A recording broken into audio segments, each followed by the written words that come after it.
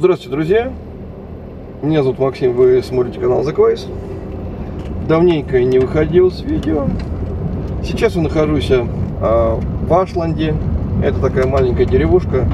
Находится в 20 минутах езды от Омаха, даже меньше, наверное, 15. Вот. Такая классическая американская деревушка. Вот. Поэтому немножко вернусь к своему старому формату, когда я еду э, и показываю вам виды американской глубинки Среднего Запада, ну а параллельно э, о чем-то рассказываю или что-то вас спрашиваю.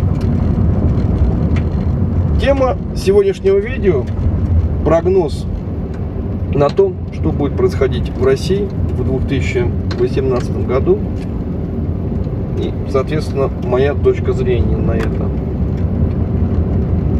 Так вот, хотела такое видео снять, я предварительно решил собрать материалы по поводу того, что э, говорят серьезные аналитики по этому поводу, иностранные все эти разные аналитики, различного рода э, учреждения, которые предназначены для того, чтобы собирать разного рода информацию, как на русском языке, так и, соответственно, на английском и на других языках. И к немалому удивлению для себя обнаружил, что информации достоверной практически нет. Более того, а, на русском языке информация вообще объективно отсутствует как факт. То есть, понятное дело, если смотреть разного рода такие а, оппозиционные э, издания, как «Эхо Москвы», там всякая разная новая газета, различного рода блогеры, э, которые находятся в такой жесткой позиции, то э, было бы глупо брать на веру то, что они сейчас говорят. То есть практически сейчас последний год это выдаваемое, э, желаемое за действительное. То есть такого рода оппозиционеры э, все рисуют в таких жутких красках, предвещая такой скорейший-скорейший конец путинскому режиму, начало каких-то революционных действий, переворотов и так далее и тому подобное. Такая крайне полярная и диаметральная точка зрения от официальной статистики. И с другой стороны, такая слащавая, полностью оптимистическая э, статистика государственная, которую, что самое интересное, подхватили и э, зарубежные э, аналитики. Причем самое что интересное, и там, если посмотреть э, Country Report, э, которые выпускают различные рода спецслужбы, как то э, разведка Канады, МИ-6, это в открытом доступе находится в интернете, желающие могут посмотреть как, такого рода Country Report, даже более того, за относительно небольшие деньги заказать полный аналитический отчет. Это недорого стоит на самом деле. Очень многие спецслужбы как раз подрабатывают такой аналитикой. Так вот, такого рода аналитические отчеты, они э, полностью почему-то базируются на цифрах, которые э, э, приводят российские статистические агентства. Вот. И что самое интересное, никто не делает никаких вообще политических прогнозов по поводу выборов. То есть не пытаются предположить, будет ли Путин выдвигаться на следующий срок, пройдет он, не пройдет. Вообще вот такого рода информация, она полностью обходится стороной, равно как и э, уровень политического климата в стране, э, мысли населения и, соответственно, э, скажем так, индекс лояльности населения к власти. И на основании вот такого вот парадокса я могу только прийти к следующим соображениям. Во-первых, а, информация очень сильно чистится. Видимо, были запущены очень серьезные механизмы а, и задействованы серьезные деньги, чтобы полностью провести вот такую вот информационную зачистку в интернете с тем, чтобы убрать вообще всю информацию. Да, до меня доходят обрывочные такие разные информационные обрывки, то есть там из разных регионов, что на самом деле там происходит. Но это как бы обрывки информации. То есть, да, понятное дело, что э, ситуация в стране идет э, в рамках проекта такой управляемой стагнации. Управляемой стагнации, и это будет поддерживаться до выборов Путина и даже после них. Да, имеет место быть э, инфляция. Причем, может быть, даже серьезная инфляция, потому что из разных источников была информация, что печатный станок в России работает с перегревом, не успевает печатать деньги, банковская система рушится, банки закрываются, схлопываются один за одним, пытается поддерживать то один банк, то другой банк, то третий банк. Вот, э, соответственно, тают э, доходы у населения, мелкий средний бизнес, э, который еще держался там на плаву, теплился, тоже схлопывается. То есть вот такая вот информация. Но в общем и целом это идет в рамках курса управляемой такой стагнацией, в рамках общего курса, который придерживается кремлевское руководство. Вот. Говорить о том, что в стране будут какие-то радикальные изменения к худшему или к лучшему бессмысленно, потому что именно задача власти это управляемая стагнация. Управляемая стагнация. И будут приложены все усилия, чтобы этот баланс сохранить. То есть без изменений в плохую или в лучшую сторону. Да, вполне вероятно, что немножко может а, рубль а, упасть. Это закономерный а, ход. Но а, не более чем до определенных э, пределов он, естественно, упадет. То есть его будут удерживать. Да, э, власть сейчас будет изыскивать различные средства, чтобы э, поправить свое финансовое положение, будут изобретаться на пустом месте различного рода дебильные законы, э, налоги, все что угодно будет изобретаться, и население все это схавает. Потому что на сегодняшний момент э, население страны загнано прям в такие рамки, что никто побоится даже пикнуть. Если раньше, когда э, в Америку выдавали туристические визы, народ охотно шел на различного рода пикеты, акции, туда-сюда, отлично понимая, что это повод собрать свой кейс с тем, чтобы потом свалить из страны, сейчас э, у людей нет виз и, соответственно, нет желания вписываться в подобного рода э, авантюры смысл какой э, драть свою задницу, вот, и э, нарываться на различного рода неприятности, э, заведомо знаешь, что ни к чему это не приведет. Ну, не готов народ в стране э, к каким-либо революционным действиям или выходить на улицу и требовать э, качать какие-то права. Вся э, оппозиционная деятельность была полностью э, за последние пять лет уничтожена. Все, кто маломальски там был оппозиционером, э, вел свои блоги, э, критиковал активную власть, они на сегодняшний момент все из страны уехали полностью. Возьмите там Демуру, возьмите других деятелей, все из страны уехали. Камикадзе, там, остальные все. Не знаю, там, что там с Мальцевым сейчас. Ну, короче, э, власть полностью с оппозицией расправилась. Остался только такой непонятный персонаж под названием Навальный, который продолжает резать правду матку. Э, вот. Но опять же, он ее тоже очень странно режет против э, тех лиц, которые как бы, ну, периодически, видимо, властью спускаются сверху в качестве таких дежурных мальчиков для битья опять же, которым по барабану, что про них говорит Навальный, потому что их материальное благосостояние от этого не меняется вообще никаким образом. Что у Медведева, что там у Соловьева, что у остальных, против которых там Навальный правду матку режет, по барабану. Если а, посмотреть на ситуацию более глубоко, на мой взгляд, а, единственное, кто может а, начать какие-то радикальные изменения в обществе и общество раскачать, это или э, сами люди из этой верхушки, то есть те, которые э, не совсем согласны с тем, что Вован задержался у власти, и те, кто несет серьезные финансовые потери от его э, дебильных действий. Вот.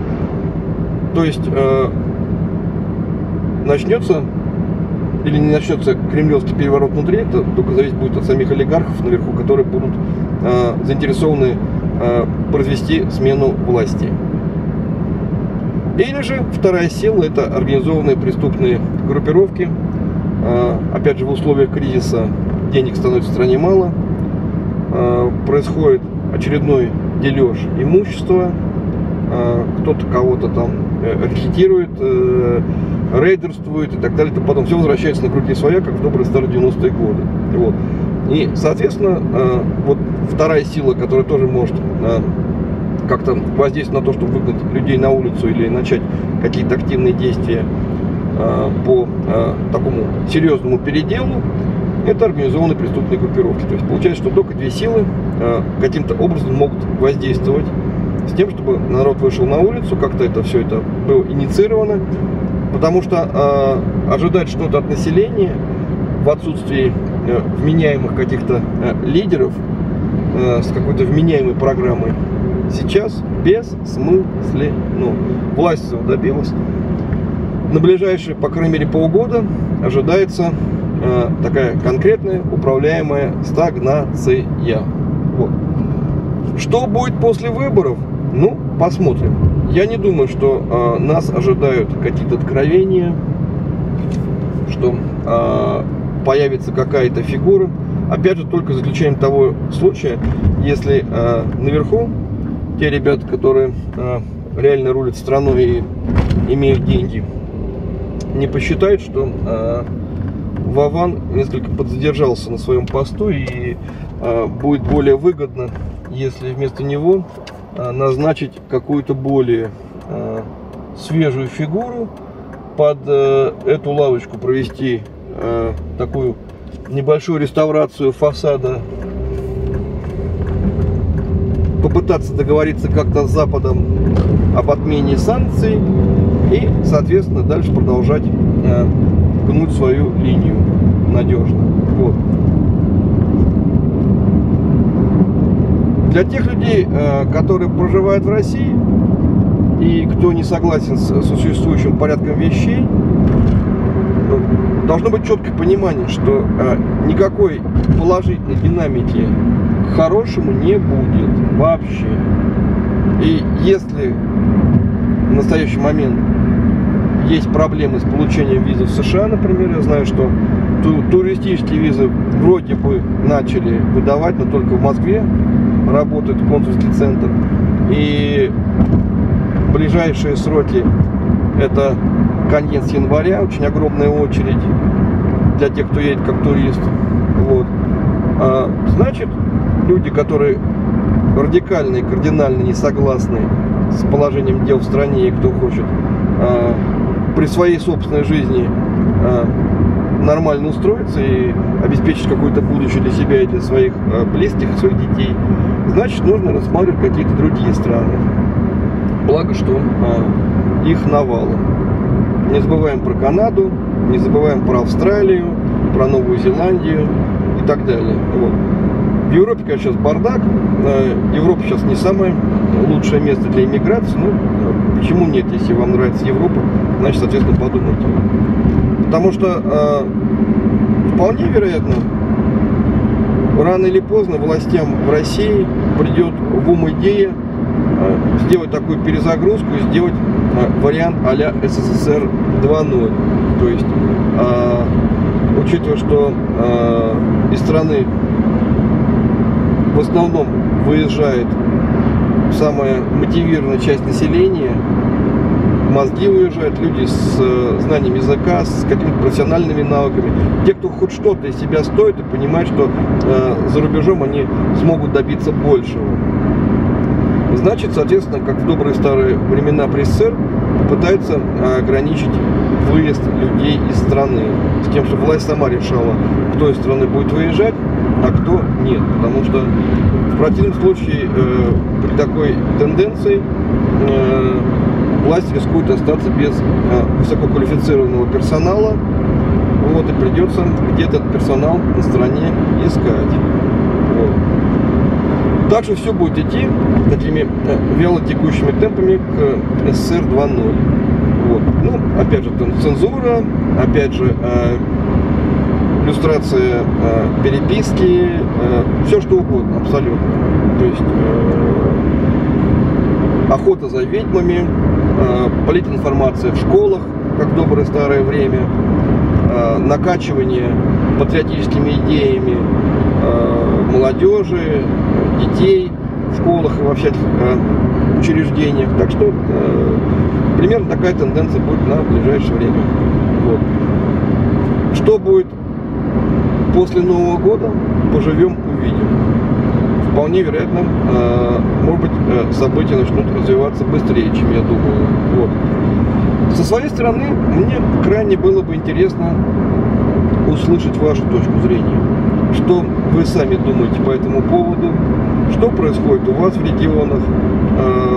Э, насколько у вас э, все плохо или хорошо? Есть ли какие-то тенденции? Что в вашей жизни поменялось за последние полгода? И э, что вы ожидаете от ситуации на ближайшие полгода? Пишите все, что угодно. Мне интересно почитать ваши комментарии вот, относительно вот этих вот прогнозов на 2018 год, что будет дальше происходить. Вот. Когда видео практически было отснято, а, я решил уделить еще буквально несколько минут времени а, с тем, чтобы рассмотреть тезис, почему российским властям интересно а, сделать реставрацию модели а-ля СССР 2.0 те, кто застал жизнь СССР, должны помнить, что вся страна фактически работала подавляющем большинстве на оборонку. И люди, которые э, работали, они фактически работали бесплатно.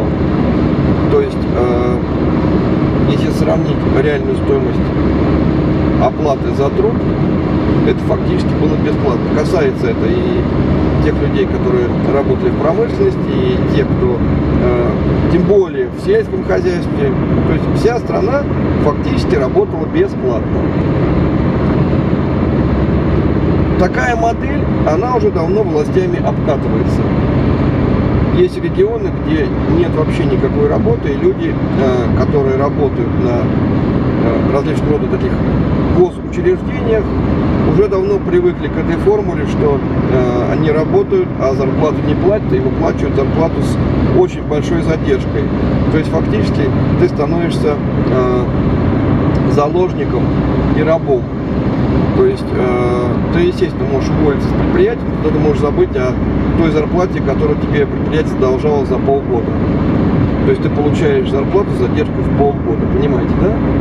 И, соответственно, э, на таких глобальных условиях люди продолжают работать, потому что у них больше шансов некуда устроиться. И, соответственно, э, эта модель будет и дальше внедряться на всей территории страны. Потому что э, власть не заинтересована в наличии свободных людей, которые владеют своим собственным бизнесом, пусть даже маленьким, пусть даже очень маленьким, но который позволяет им независимо от власти э, вести свои дела и всегда послать эту власть э, далеко и надолго. А вот загнать людей на э, государственное предприятие это зачетно. И, соответственно, дальше вот, э, взяв вот такую схему с отсрочкой платежей, этих людей эксплуатировать, эксплуатировать, и, соответственно, дальше уже э, они уже будут полностью зависеть от этой власти. И куда им скажут, идти на голосование, за кого голосовать, ходить на протестные акции, не ходить, люди становятся полностью подневольными. Вот. А, фактически вся страна, ну, Россия, это а, сырьевой придаток. Хотя из а, тех областей, которые э, эффективно что-то производят, это, соответственно, э, опять же, оборонка. Производство оружия, которое э, массово идет на экспорт. Ну и, видимо, там тоже наблюдается нехватка рабочих сил. И власть заинтересована как раз на эти оборотные предприятия загнать свободно шляющееся население с тем, чтобы выпуск продукции увеличился, и, соответственно, ее также можно пустить на экспорт. Это, опять же, мои только замечания, потому что э, больше из того, что может продаваться за рубеж сейчас, э, и то, что будет конкурентоспособным, э, что-то вообще не приходит, только а, продажа полезных ископаемых. Все остальное, естественно, будет проигрывать. Все эти разговоры там о различных проектах, связанных с производством самолетов, кораблей, э, прочего, прочего, прочего, это разговор вообще ни о чем. Э, почитал тут э, юмористическую статью о том, э, сколько было произведено суперджетов, вот, и как этот проект фактически уже накрылся. Вот, тенденции такие практически во всех отраслях. Вот. Только одна оборонка продолжает клепать оружие, которое пользуется успехом в странах третьего мира.